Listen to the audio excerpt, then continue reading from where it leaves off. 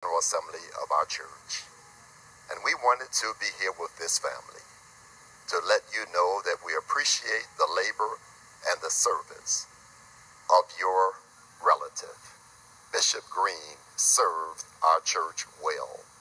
He was faithful in his responsibilities. He was faithful as he served on the general board. And we thank God for the general board members that are here today. Bishop Blake, our presiding bishop, and all of the other members. And I thank God for all of the elected officials of our national church who came to say a final farewell to a faithful servant and leader. Bishop Green served the general church faithfully. He served in the General Assembly, and he was faithful to every area that he was elected to and every responsibility that he had.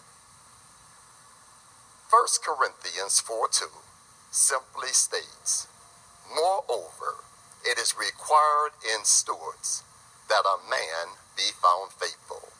Bishop Samuel Lee Green was faithful to the church and to the General Assembly. And we just came to make that acknowledgement and to let the family know that we're praying for you. We have a resolution that will be presented to the widow and also to Bishop Dwight Green, who has served in an elected position of our national church.